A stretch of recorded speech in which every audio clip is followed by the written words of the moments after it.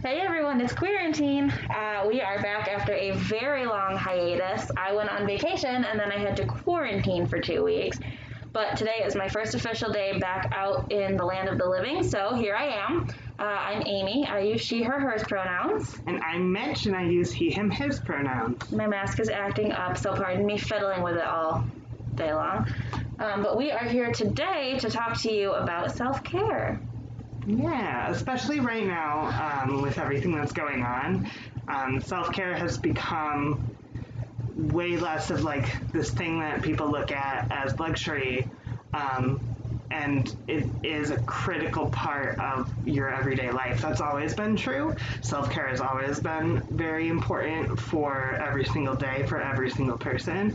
Um, but especially like with the added stress of a situation like this, I think it's really important that we be intentional of how we're building self care into our everyday lives.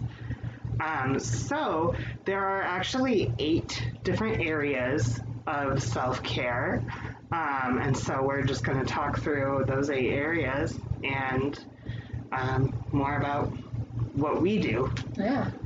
So my first method of self-care right now was fixing my mask. So I had this mask made for me so that when I was in the airplane, I would have some more, a little bit more airflow than what typical masks allow for. And I folded it over because I'm not on an airplane, but I think it was too muffled and it was starting to fall off. So my first act of self-care was abandoning what I care about people's thoughts and just going for it. I like it. I think it's a cool new look. It kind of reminds me of like the bandanas Yeah. that people are doing. Yeah. So we can start with physical self care because that was All something right. that was a physical thing that you needed to fix.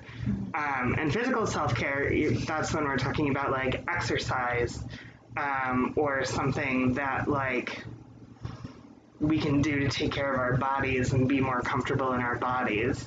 Um, so fixing your mask. What else do you do for physical self care? So uh, Sarah and I subscribe to something called Kinderbox. Uh, we are not advertising for them, but we personally subscribe to them, um, and it's a it's like a beauty and skincare box, and so we just started using it. And the first two products that came with it were this like lavender oil serum that you put on your face at night to sort of calm yourself down, and it revitalizes your skin. I want that. It's amazing. And then there's an under eye cream as well that just kind of firms it up. Also has lavender in it. If you know me, you know how much I love lavender.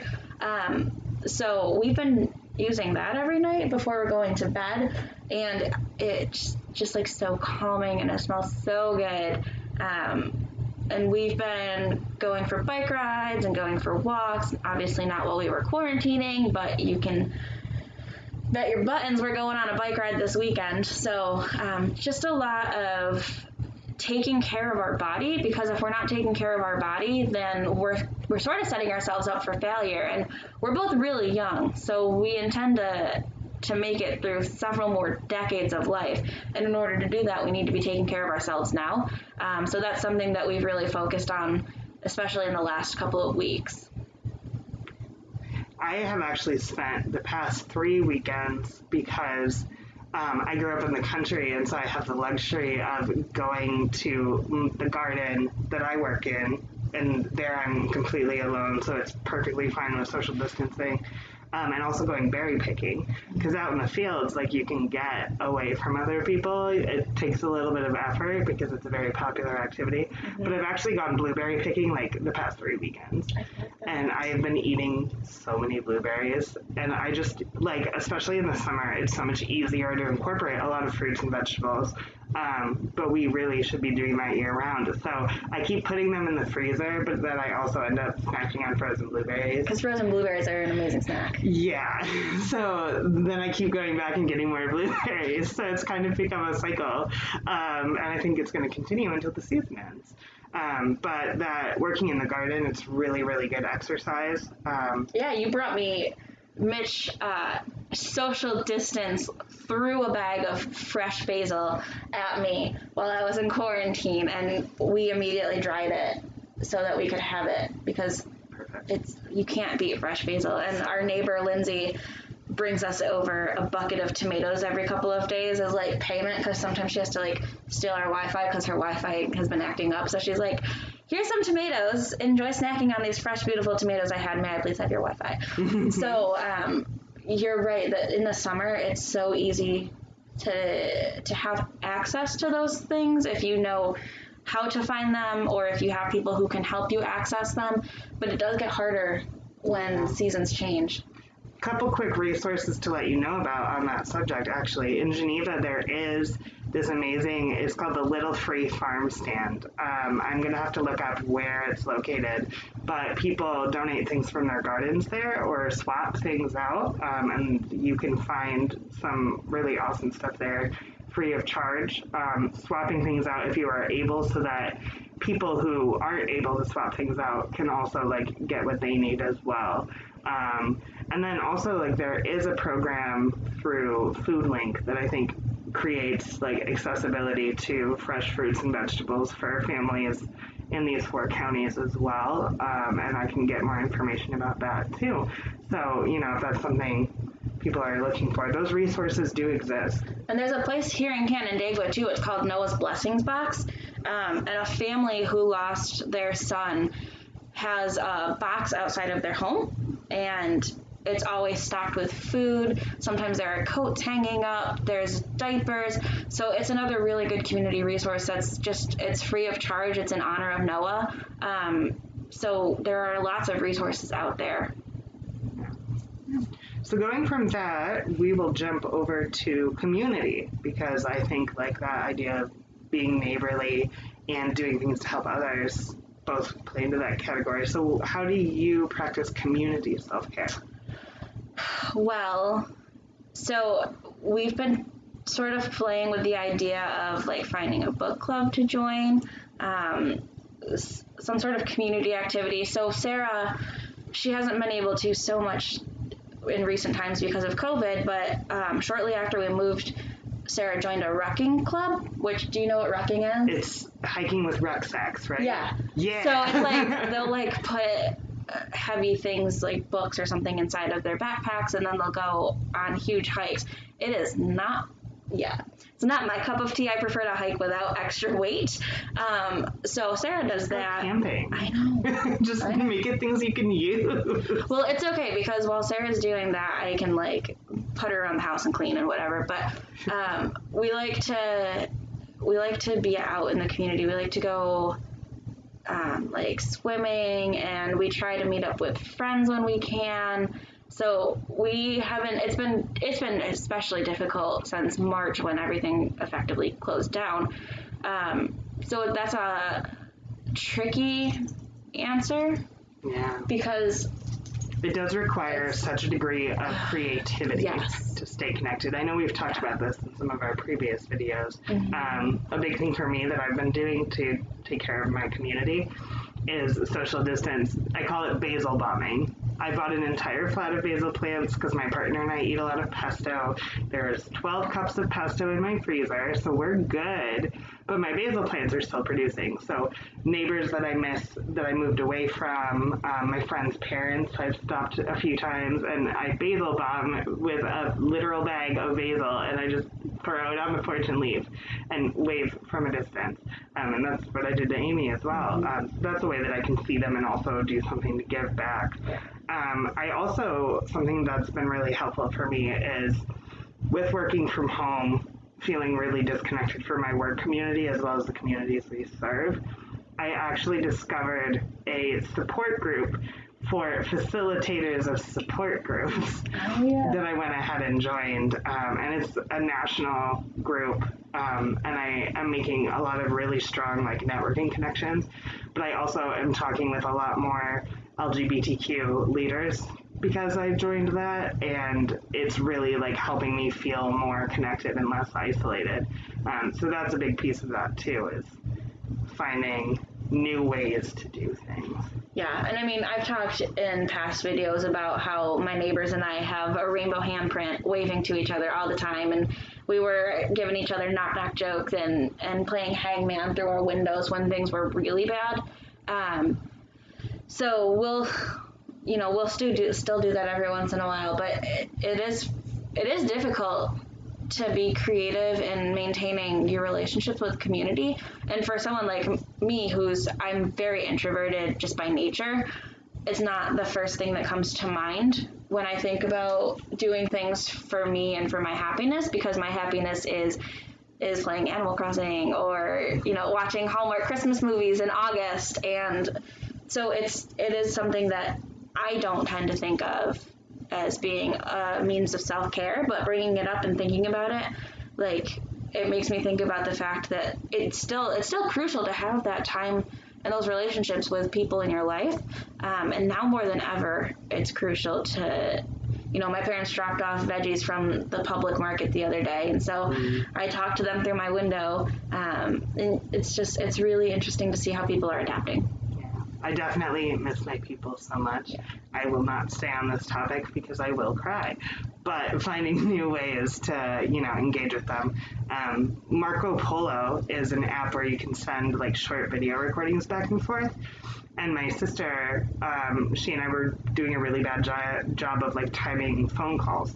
Um, so we both downloaded Marco Polo because we could send a video and then the other, when they were free, they could watch it and then send one back. Um, and so that kind of takes me to uh, emotional, because um, for me, like my family is a big source of emotional support. Um, so that was something that I did.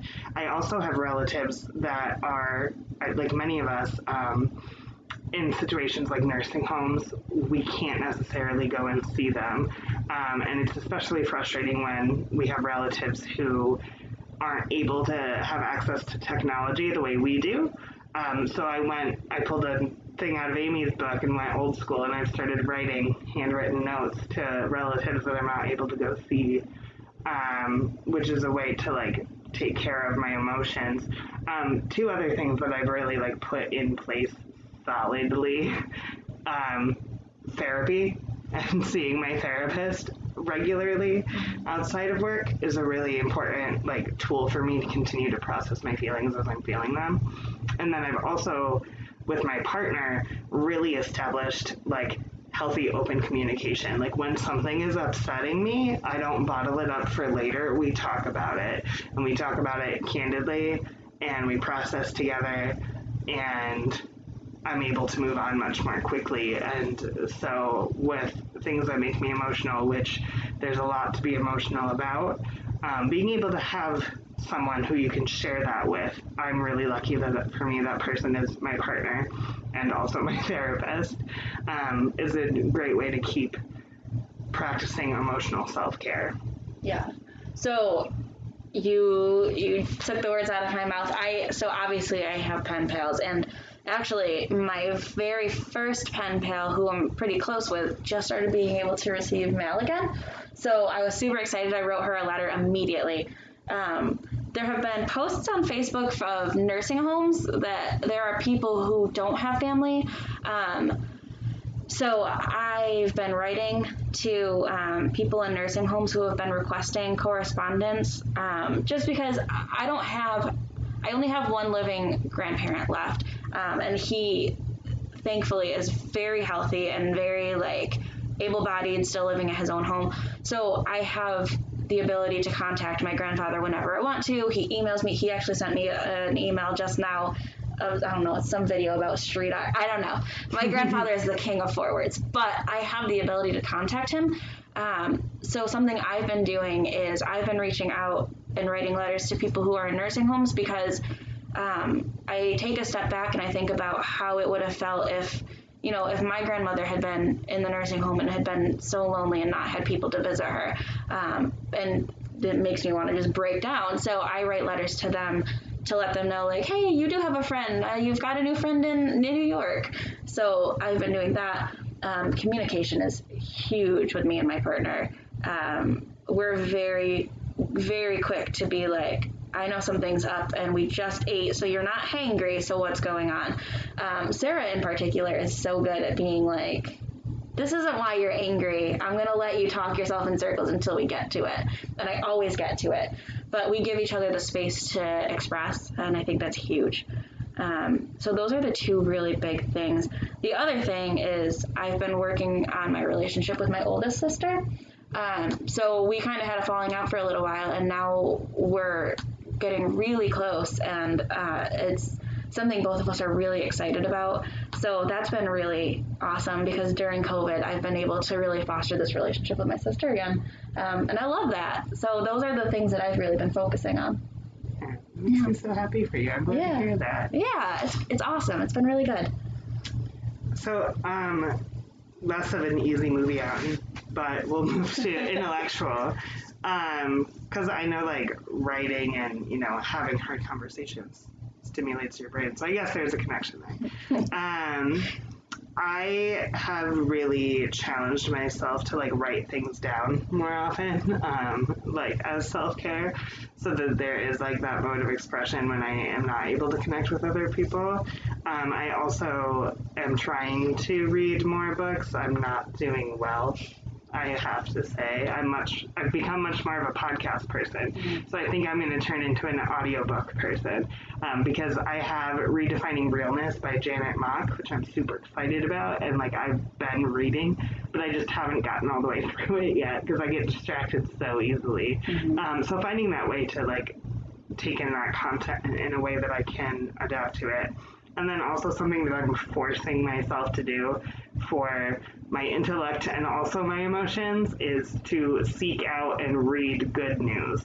We're so inundated by things that are so heavy and stressful and sad, but there are also really good things happening too. Like, I don't know if you see the videos of like they take Humane Society animals to the zoo so that the zoo animals get visitors and the Humane Society animals get to like practice, you know, walking on leashes and stuff. And oh my god, I just can't. I love it so much. I have to be really careful watching those videos because I will break down and sob. Like, oh, I love them. I, they're so heartwarming, but sometimes I'm just like, the puppy has a new friend. And then it's just like a rabbit hole. So I have to be very, very careful about what I watch and when I watch it because I will. It will be so heart heartwarming and uplifting, but then I'll just be like, I just love that dog, and so That's how I I, feel about homecoming videos. oh my gosh, When I need to cry, I everything makes me cry. everything makes me cry. Yeah. Uh, Uh, yeah, so I don't I don't watch a ton of those videos. yeah. But I love that you seek out good news. I I think it's so important to know how to seek out good news because you know I, I check BBC News every morning. That's just one of my like morning things. Is I read the news in the morning, and the front page is always like these terrible headlines and these like things were going fine and now it's awful and like I can only take so much of that. So um, I make sure that when I'm on on the news sites, even if I'm reading the harder news first, I'll go to the to the like wellness well, wellness section and read an, an article about like this really fun thing to do um, or even just like searching in uplifting news in google like it'll bring up so much so newsnetwork.org is the one that I try to pull up. okay Um, like that calendar that some senior citizens did where they recreated iconic movie posters to raise money for Alzheimer's research. Um, and also, like, satellite footage just revealed that there are 20% more emperor penguins in Antarctica than we thought, which is super exciting because penguins are amazing. you have four ceramic penguins sitting on your chest right there They're actually paper mache, but thanks for the compliment. I am gotta use my artist art skills for something. i love that Um, I'll go from there to environment because my penguins are something I really wanted to like make something to brighten up the space. They're also for you know a special occasion. Um, but just like surrounding myself, you can see up on the wall here. Um, my partner and I are both former Disney employees, so we both collect Disney pins, and we merged our collections and hung them up. And then these balloons she made with a Cricut um, to remind us of Disney World, especially because we don't know when we'll be going back. Um, but that was something that, like, it makes us smile every time we look at it. So we decorated very intentionally our environment with things that made us happy. Um, I also, like, vacuum every other day. Mm-hmm. which I know it doesn't seem like something typical of self care, but I have tan carpets and a black dog. I'm right there with you. We'll we will literally sweep, and then the next day we'll be like, "We just swept. How are you doing this?" Because we've got a black lab. Yep. And it just makes you feel better about your space. Oh, 100%. And it's also good for your breathing. So, Yeah, I mean, so Sarah and I, for our environment, we've been just going through all of our stuff and like getting rid of excess and garbage. So when we moved from our old apartment to our new apartment, we moved like super quickly and in the middle of December. So neither of us was willing to really, you know, take our time. We were just kind of like, all right, just get this box over there right now. So we just packed everything in whatever space we had and then we moved it over there. And then we unpacked the things that we use all the time. And then the rest of our stuff was just like floating around and moving from this drawer to this drawer. So we've been going through and getting rid of all of our excess. We took a bunch of clothes to like Plato's Closet. We're gonna sell or donate a bunch of our clothes um, that they weren't able to take. So we've been just making our space very intentional as well. Um, one of the things that I do that helps me a lot is my desk area tends to get messy very quickly. Crafts take over I space. I don't know what you mean by that. As I Right. gesture to my crafts pile Right. that is right next so to us. get it. So my my desk has like my Himalayan salt lamp, and I have a selenite lamp, and I don't know. I've got all of my like decorations right there, and they're so pretty, but they're overtaken by my stationery and my pens and a coffee cup I left in there from the other day.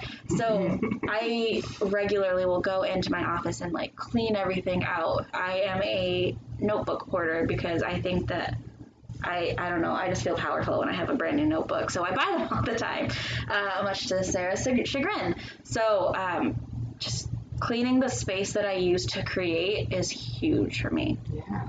I put on um, my self care plan like designating specific space for specific tasks. I think with us crafters, that's really important. Um, so, right on, I'm there with you. Yeah. Um, I also have, you know, just merged households with my partner, which I have inherited by proxy a bunch of three wick candles, which I love a good three wick candle. Um, and so I try to like light a candle for like an hour a day, and it's amazing. Did you know the trick to a candle? That however many inches across, or like whatever the diameter is, that's how many hours it needs to burn to have an even burn across it. Ah, Bath and Body Works taught me that. that is fascinating. Yeah. So however however big it is in diameter, that's how many hours it needs to burn to be a flat. I cannot stand when my candle is only lit for a short period of time and then it gets the like the little like Celtic knot dip and then the sides are too high because it drives me crazy. It, and it makes me so happy to see those candles over there evenly burned. Thank you. I'm an artist. I appreciate it so much. that is good to know. I, I, I, that is pure happenstance. So Well, now you know the trick. cool. I'm glad. And I now you know it. how to burn a candle when I'm around. I there are no right and wrong ways to do things, but for personal tastes, that's a little different. um, we will jump to occupational. Something that is really exciting is having you know the person that I do this work with also being someone that I can talk to, and we have um, a good relationship. Like last week, I had a task list longer than my arm. Amy had just come back from her trip, and we just divided and conquered. We just split it up. Um, we follow up with one another. That's really important because that way we know that things are getting done. There's nothing more frustrating than um, not being followed up with um, when you're waiting to hear if something got done. So we have like made that a very intentional practice within our program, um, which is the way that we both practice self care um, with our occupation. Well, and I'd also say too.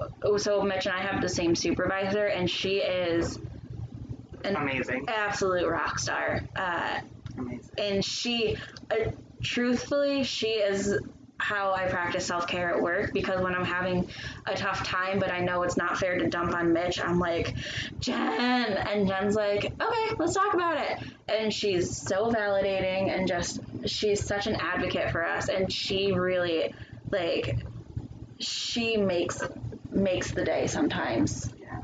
The other amazing thing about Jen and like with the entirety of, I would say, the advocacy team, because I know this is true of all of the advocacy supervisors, we have this philosophy on our team specifically of if I do not know, I will find out. And so we ask each other questions. There's that open communication. Like, I can go to any supervisor or any advocate and say, hey, this has just come up for me. I don't know where to go from here. And if they don't know how to explain that concept to me, they point me in the right direction or they look it up themselves. Um, and that is huge, like the ability to safely ask questions because we don't all know everything about everything. And being able to trust one another goes so far. That's crucial. Um, and Jen is really the queen of I don't know, but I will find out. And she does get back to you. It's like our team motto. Yeah, it really is. Um, something else too that like I get from Jen that I put as occupational self care is like planning your day out ahead of time first of all, but being okay when it doesn't go that way. And also like learning how to reflect on your past accomplishments and set easy attainable goals because like if you can if you have a lofty goal breaking it down into incremental doable steps you're much more likely to get up the ladder than if you were trying to jump from a bottom rung to a top rung with no like markers in between. Mm-hmm. Um, and it's frustrating. We have so much work to do all the time that we never slow down, and we want to get it all done. Um, and Jen has been amazing at teaching us how to like look at what we've accomplished and build on top of that to get to where we want to be. And we always end up getting there. Mm-hmm. So Yeah. We love you, Jen. Yeah, Jen's the best. Jen's the best. Um, moving on to financial self care, which people don't think about as being a form of self care. Oh my um, gosh, I know it's I don't, So important. but it is really important. we just sat down and, and like budgeted everything out and like we by budgeting i managed to save myself a bunch of money every month and we realized that both of us were subscribed to the, like, a couple of the same things and neither of us realized it so like we both had amazon prime and we were like okay we don't both need prime which meant i also didn't need to be paying for prime video so like I cut Prime Video out and like I cut a bunch of things out that I was like, okay, these are kind of superfluous things. I don't need to be spending my money because we do have some goals in the future that require steady income and financial security and we can't do that if we're both subscribed to Amazon Prime. Mm-hmm. And like it seems super small, but we went through what we're spending our money on and we were like how many coffees do we need in a week? Like so you don't think about what you're spending your money on because you're just spending tiny amounts like at each point but it really adds up and we both when we finally sat down and we figured it all out and we figured out what we could cut out and how much money we could save both of us were like oh my gosh okay we can do this. Like this is super attainable. We can do this. We just need to stop spending like buffoons. Um, and we've we've been working really hard on it and it's starting to i mean it's really starting to show um, and we're really benefiting from it. So financial self-care it seems like something that you would only care about as you get older but for those of you who are younger uh, it is crucial that you learn how to to work your finances and how to spend your money wisely and how to save um, because it sneaks up on you in adulthood and then you're left scrambling Yeah, and it's a way to kind of like. A lot of us are in situations. I certainly have been there where we don't have a lot of money coming in, um, and learning how to manage what you do have, even when you get to a position where things are a little easier, to live below your means when you can. Um, it's a great self-preservation technique, and that means keeping track of your spending in a non-punitive way. Like I don't believe that we should punish ourselves for getting a coffee. a coffee no a coffee every day i need to i need to slow my roll Yeah, yeah, there's Um, balance. There's there- balance. absolutely But, um, you know, something that before COVID, like I used to love to go see new movies in the movie theater, and so like setting it up for myself like yes like once a month that's a thing i can do Mm-hmm. um, but not punishing myself for when i slip up because we all like get on amazon and we need one thing and then we end up adding another thing that we have needed for a while I mean, my mom went to Aldi the other day for bread and left $65 short. So, like, it happens. And you're not a bad person and you don't deserve punishment if you slip up because it is human nature. And but just see it for what it was Yeah. and keep track of it and mm-hmm. find balance elsewhere too when you need to and finding those patterns is big too because like I've noticed that the way I spend my money directly correlates to how I'm feeling emotionally. So when I'm feeling stressed or out of control, I'm like, ooh, I can control this purchase on Amazon. And so, you know, there is something to be said about retail therapy, and it's a slippery slope, especially for me. Um, so I'm I'm very careful to be aware of how I'm feeling and how I'm channeling what I'm feeling because it is very easy for me to be like, I don't feel like cooking, so I'm gonna order out. And then for four days in a row, we order out, and then we're, we're frustrated with ourselves because we said we weren't going to do that. So, financial, I would say that for me, financial self care also goes hand in hand with emotional self care. Yeah. I have taken my retail therapy need and brought it into a different direction, and COVID made this really easy. Where when I want to take control of something, I comparison shop for the things that I need so that I know that I'm getting things for the most affordable price. Instacart, when it comes to groceries, makes that super easy because you can see like what different stores have what at what price. Also, like doing pickup instead of delivery, you can save a few dollars. Um, Instacart is a service I know a lot of us are relying on right now, um, and so like it's definitely worth it in my opinion to like check various places and you know find things the best way. I also am a big believer in my favorite thing to do and i learned this from the times in my life where i didn't have a lot of resources coming in um, playing chopped with items that are in my pantry and just being like what can i make out of this? That's a skill i learned from my mother um, and it gets weird but you know it Sometimes works and it's a good way especially like when you're waiting on a paycheck um, you can end up making stuff that's really good. Like Mm-hmm. I love Thai peanut noodles, and you need peanut butter, soy sauce, and noodles, and like garlic and ginger, and you've got like a really good meal. Um, so doing that and incorporating kind of those less expensive but still really good meals into my meal plan. I also have a general rule um, where if I'm really interested in, like, I've seen something online and I'm really interested in buying it, I'll open it in a tab on my Chrome so that I don't forget about it. Um, and then if I've spent the like the better part of the week thinking about it like every single day, so I just I started a subscription box um, at the beginning of last month because I had seen an ad for it and I thought it was so cool and I was like I don't need it I don't need it I don't need it but I kept thinking about it and I thought I thought about it for probably over a week and so my rule is like if I'm thinking about it actively every single day for four or more days out of a week like that's something that I really want in that moment. Um, and so I indulge if it's something that I've really given that much thought to, because if it's not leaving my mind, it's really something that my heart has gotten set on. Um, and I've I've managed to save a lot of money by not being like, ooh, cute earrings, I'm gonna buy them. Yeah. Instead, I'm like, all right, I'll open them in a tab, and if I'm if I've thought about them for six days, I'll buy them. And a lot of times, I don't end up buying things. Yeah. That way you decide that when too, like with the amount of stuff, like that kind of goes into environment too, like the amount of stuff in your house. Um, deciding that you really want something before you bring it in um, is great. Like that's kind of what I did when we moved into this house, figuring out what furniture we were gonna purchase and bring in here versus what did we really need, because we were adapting to a new amount of space. And I'm still taking my time on making some decisions. Um, because we don't need to fill this place up. Like, so, you know, that waiting, that pause is really a great way to keep that in control. The final category of self care is spiritual.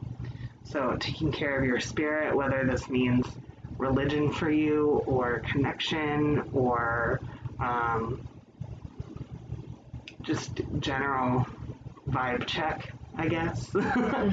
um, for me, I have been taking five minutes every day to stand outside and just listen because it's cricket and cicada and Junebug time, and I just love the sound of summer.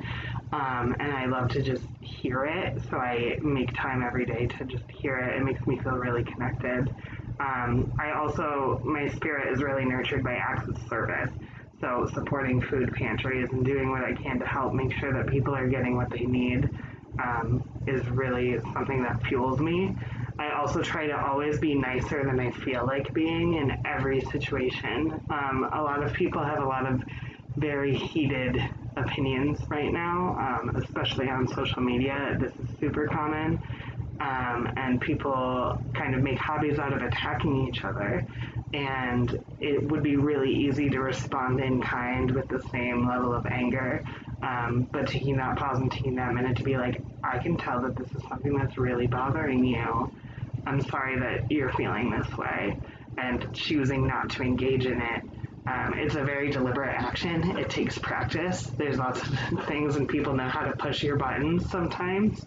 Um, but that doesn't mean you have to respond accordingly to that. Um, and I think that's a really good overall practice to have, especially professionally.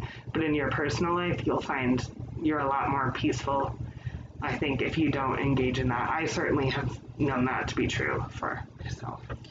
So I do the same sort of thing. I try really hard not to engage, uh, especially on social media, because uh, frankly, I don't have the energy most of the time to handle it. And it's really important to me to pick and choose the things I'm willing to take the responsibility of education for. Um, and a lot of times it's just not, I'm not doing it for any reason other than to get it off of my chest.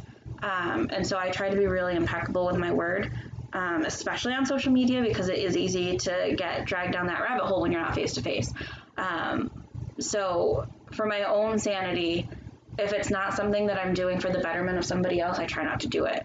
Just because it's, I don't want to be expending all that energy out, expelling all that energy out, excuse me, if it's not going to go anywhere other than to just make me feel better. Um, and I don't want to be made to feel better for petty reasons, just to be like, I showed you from behind my screen. Um, so that's really important to me. And also reconnecting with nature for sure. When we were in California, we went hiking at Joshua Tree, and it was silent. Like so quiet, you could hear the jackrabbits running.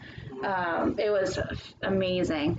And so doing things like that and sort of just like taking the, the time to realize how big the world is around you um, and really what a miracle the world is even in spite of all the bad sometimes um, that's really important for me. And like being in the water and uh, sarah and i like to go foraging for sea glass on beaches so that's a really fun thing that we do that connects us to the nature and to each other. I literally just this past weekend went down to Cayuga Lake to go flat stone hunting because there's just something so cool about finding those perfectly like wave smoothed rocks. Mm-hmm. There's literally a pile of them right I over there. yeah, yeah. You've It's seen my so collection of sea glass. Yeah. I, what do I need all the sea glass for? I don't know, Well, but I have it. Happily take some. I'll give you some.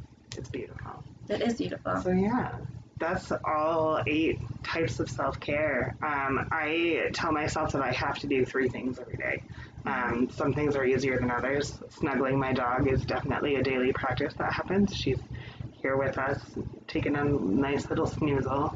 Um, I also today will challenge myself to read more good news. I want to know more about those penguins. Um, and I will also be vacuuming today because there is fluff all over my rug. I can see it. Uh, so I try to write relatively often, so I'm gonna try and write today. I need to clean my office. It looks like it looks like my stationery station blew up. It's there is just scrapbook paper and pens and notebooks and envelopes and stickers everywhere. So I need to clean that today. Um, and obviously, my number one self care is to I call it forced family time with my cat Milo, where he'll be lying down and I'll just go over and I'll Actually, I also call it a scoop and snug, where I'll like scoop him up just a little bit and then I'll nuzzle into him, and he puts up with it, and he secretly loves it because he starts purring. So uh, I always, I always snuggle my boys because there's just something about like just It's burying your face in their little furry bellies. Yeah, it's scientifically proven to lower your blood pressure. Yeah. And Wow. don't we all need that? Milo's doing Milo's out here doing some work then because I'm scooping snugging him probably once an hour. it's important. yeah. So let us know about uh, how you self care, um, and keep in mind that there you can't do self care wrong for one, and also you can't do self care and just do one without having the other one tied into it because it. I mean, even in talking about it, we were talking about our financial, and we talked about it so long that we circled back to emotional and environmental. Um, so they all tie in together, and it's really important to know that there's no wrong way to do self care. Riley is wagging her tail to let us know that we're about to self care by petting her. So She's asleep. She's having a happy dream. and so she's wagging her tail in her sleep. she's such an angel. I cannot. Sleep is important too. Don't forget the basics of Fruits, vegetables, water, and sleep. fruits, vegetables, water, and sleep. Exactly. Yeah. And taking your medication if you have Yeah. it. And um, taking time to take care of yourself. Yeah. Make yourself a priority um, because there's we're not doing that, and it's really important too. Yeah. So make yourself a priority this week, and we'll be checking back in with you next week. Bye. Bye.